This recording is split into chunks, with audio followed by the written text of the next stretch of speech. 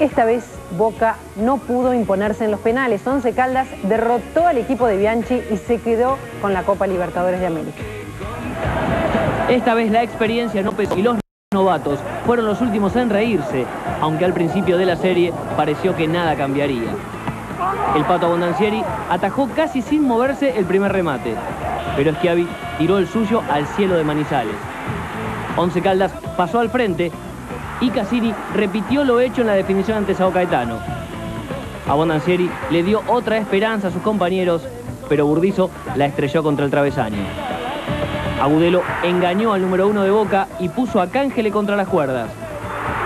El pibe de Boca, que había sido la figura en los 90 minutos, le entregó la pelota al flamante superhéroe colombiano llamado Juan Carlos Senado.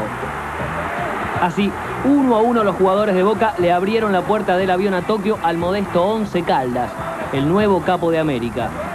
La derrota marca el fin de un ciclo para el equipo argentino, pero el dolor por no haber conseguido el objetivo no justifica la actitud antideportiva de no retirar las medallas por el segundo puesto. Un gesto difícil de explicar con palabras. ¿Por qué no, no fueron a recibir la medalla de plata, Carlos? Yo no sabía, sinceramente no sabía. Claro, por tomar la de... Es la primera vez que, que perdemos, entonces yo no sabía que a los segundos le daban medallas.